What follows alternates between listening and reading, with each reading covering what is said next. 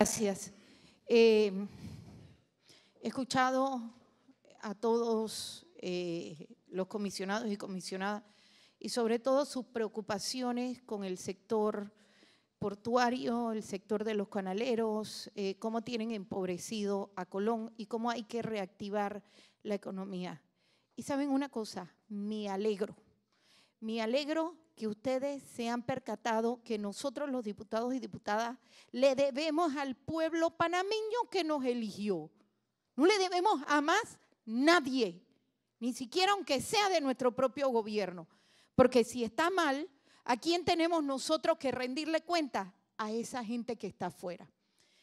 Así que los felicito, porque luego de escucharlos a todos, se han percatado de la preocupación que existe, que es una, no es variante, es la regla general. Vienen los de afuera, nos hacen trabajar, se les dan concesiones, no pagan impuestos, nosotros los panameños cargamos con sus impuestos, con sus concesiones, le pagan mal a los trabajadores, se roban la plata de las provincias que producen y el dinero al final se va para afuera. Bueno, esa es la realidad que estamos viviendo todos los panameños. Aquí no hay nada que se exonere el impuesto si no es para las transnacionales. Pero este proyecto de ley, que yo les pido por favor que esto no vaya a ninguna subcomisión, porque aquí no estamos afectando las finanzas de nadie, es un proyecto que ya fue discutido en la administración anterior.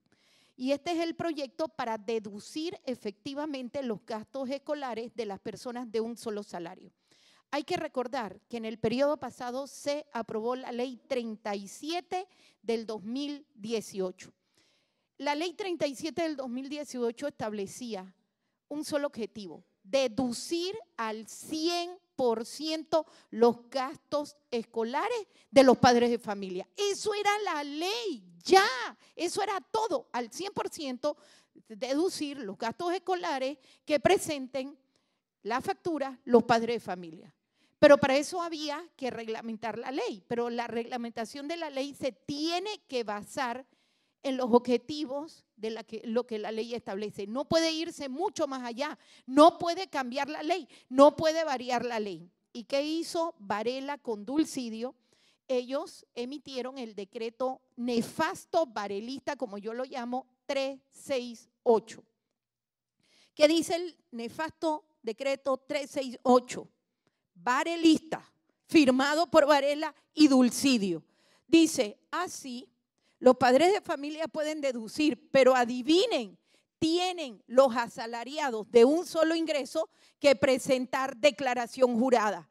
Eso está prohibido por la ley, porque el Código Fiscal en el artículo 710, párrafo 1, establece que los asalariados de un solo ingreso no están obligados a presentar declaración jurada. Ahora quieren que presentemos declaración jurada. ¿Qué significa presentar declaración jurada? Y ustedes están viendo la consecuencia. Yo presento declaración jurada, lo hago mal, ah, me levantan un proceso por evasión fiscal. Y puede ser precedente de blanqueo de capitales. Tengo que hacerlo con un contador o un abogado. Yo soy abogada, yo no sé presentar declaración jurada. Y hay que mi contador o el auditor se equivoque. Entonces, tengo multas, tengo un impuesto de operación, me pueden levantar un, un proceso penal. Y adivinen, nadie va a querer presentar esto porque esto es complicado. Y como segundo punto, miren hasta dónde llega este decreto que estableció que solamente se pueden deducir los gastos escolares del impuesto de la renta entre un 15 y 25% dependiendo del ingreso del contribuyente. Hizo una ley nueva a través de un decreto, cuando la ley establecía el 100% de los gastos escolares. Aquí no nos pueden venir a decir, ¿y dónde está la renta sustitutiva? Es que no va a haber renta sustitutiva porque ya hay una ley. No tenemos que crear absolutamente nada, hay que cumplir la ley. Entonces, en estas modificaciones que yo le estoy presentando, que son sencillitas, es que todos los asalariados privados se le deduzca el patrón o el empleador a través de la planilla 003 que ya existe. Es opcional del empleador y del empleado, porque ahí puedo deducir los impuestos sobre las casas o los gastos médicos, si yo quiero. Pero aquí lo estamos haciendo obligatorio. Y la Cámara de Comercio, que ya hicimos la consulta, están de acuerdo, dice, perfecto, estamos de acuerdo con deducir los gastos escolares y por eso estoy agregando esta modificación nueva que deberá presentar el empleador las facturas o documentos equivalentes por gastos escolares previamente validadas por la Dirección General de Ingresos para disminuir la carga administrativa de esta deducción a su empleador. Está facilito. Se lo entrego al empleador, ya validada, el empleador me lo pone en una planilla 003, se manda al fisco, se me tiene que devolver dinero y el dinero se queda aquí porque se activa la deprimida economía de Panamá. Ya, le estamos dando la solución y ayudamos a los padres escolares que ya no aguantan, no aguantan estos gastos que nos vienen todos los años de matrícula, anualidad, busito, colegio, colegiatura, donaciones. Ni la clase media, ni los colegios particulares y tampoco los colegios oficiales. Pero como nosotros no podemos hacer tampoco distinción y decir, ay, pero ¿por qué nada más para los asalariados privados? Vamos a ponérselo a los funcionarios públicos que también tengan un solo ingreso. Y esa reglamentación ya le tocará al órgano ejecutivo. Yo no me voy a meter ni tampoco ustedes en esto. Es todo lo que le pido. Hagamos que la ley se cumpla. No estamos modificando nada nuevo. Estamos ayudando al Ejecutivo, ayudando a los padres de familia, apoyando la economía. Y ya viene ahora el 2 de marzo la escuela. Esto es urgente. Si ustedes mandan esto, una subcomisión, ¿cuándo le vamos a dar respuesta a los padres de familia? Vamos vámonos a primer debate, mandémoslo a segundo debate y las modificaciones que ya están listas, que ya se ha consultado, las hacemos en segundo debate como ya se han hecho. Eso cuando hay voluntad política de ayudar a la población. Bolota, yo estoy de acuerdo contigo y te he apoyado en todo, en todo con los portuarios, porque es injusto lo que le están haciendo a tu provincia. Es injusto. Son unos ladrones. Y por eso te apoyé en el pleno, porque tú sabes que, pero vamos a apoyar también a los padres de familia.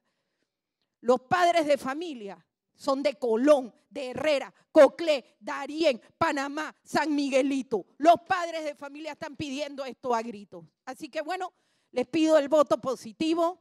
Ayudemos a Panamá, ayudemos a los padres de familia y que la ley se cumpla, que es la ley 37 del 2018. Muchas gracias. Cualquier pregunta a sus órdenes. Para cuestión de orden, le doy la palabra al diputado Jairo Bolota. Jairo Salazar. Dime, dime Bolota, no importa, me gusta. Yo me inventé ese nombre. Sí. Yo mismo me lo inventé. No era lo mismo Jairo Salazar que Jairo Bolota. Mira, yo siempre te he apoyado también a ti. Desde hace más de 10 años que soy representante y que iba a mi oficina y siempre te brindé mi apoyo. ¿Sí o no? Hay algo que, yo quiero que me contestes. Yo como empresario, ¿sí? Yo tengo mis empleados. Y eso te lo digo porque es así. Y a mi empleado yo le digo, el Brose, creo que se llama el diputado Brose, viene con una ley ahora donde vamos a llevar de, 900, de 819 a 1500. A 1500. Ya sabe por dónde voy. Entonces, si lo llevamos a 1500, amiga Zulay, ¿quién frena el juega vivo de nosotros los empresarios? Te lo voy a decir por mí. Voy. yo no voy a poner a nadie a ganar ahora más de 1.500 dólares. Si yo tengo un empleado y le digo, usted va a ganar ahora, te voy a pagar 2.000 dólares, pero te voy a pagar 1.500 por la ley esta y los otros 500 te lo voy a dar bajo cuerda. En bono, o te lo voy a dar como sea. ¿Por qué? Porque nosotros, los empleadores, vamos a hacer ese trabajo ahora, y lo sabes. Nos está dando más trabajo a nosotros. Mucho más trabajo, y lo sabes, pues tú te ríes. Entonces los empresarios van a ver esta ley como que ellas no están, no están poniendo a trabajar ahora un nuevo departamento con la crisis que hay, ¿sí? que yo no aguanto más, yo no he quebrado porque no sé ni cómo, gracias a Dios. Y en cuanto a lo- los funcionarios públicos que va a tener un debate duro con el mismo gobierno, pero entonces a los empleados públicos, igual a la ley está, ni un empleado público puede ganar dos salarios. ninguno. Entonces, además eso, Bueno, a menos que sean profesores de la Universidad de Panamá. cállate. A menos que sean profesores de la Universidad de Panamá. Ajá, Sí, nosotros. sí. No, nosotros no, nosotros tenemos que trabajar. Si somos, eh, por ejemplo, Solamente los representantes, solamente los representantes. Solamente. Y es por una, por algo de- del general Omar Torrijos que, que es una historia larga, Juan Dios. Te voy a enseñar, te voy a hacer más sentar a enseñarte esa historia. Cuando eran los 505 y por qué, como no ganaban tanto, por qué el general Torrijos hizo que esos muchachos pudieran tener dos. Ahora, quién sabe, puede cambiar la norma. Pues contéstame eso, Zulay.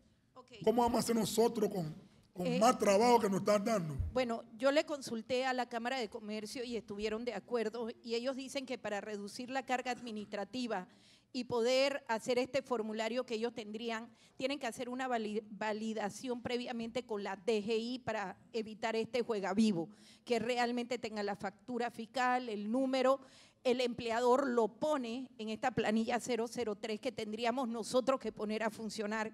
Y por eso que cuando Juan Diego me pregunta que por qué no se puso de manera inmediata, sino a los tres meses, nosotros señalamos que a los tres meses, ¿para qué? Con la DGI nos dieran ese formulario y ellos tienen que hacer una capacitación a los empleados. Esta deducción que se tiene que hacer es el gobierno el que tiene que deducir y devolver el dinero, no son los empleadores. Usted se le da los gastos, usted lo pone, el gobierno lo deduce y el gobierno es el que tiene que dar la plata de vuelta. No son los empresarios. A los empresarios no se les está quitando ni un solo real. Lo único que tienen que hacer los empresarios es llenar el formulario 003, se valida, se manda y es entonces es el MEF el que tiene que devolver un dinero de una ley que ya existe. ¿Ya? No se les quita ni un solo centavo.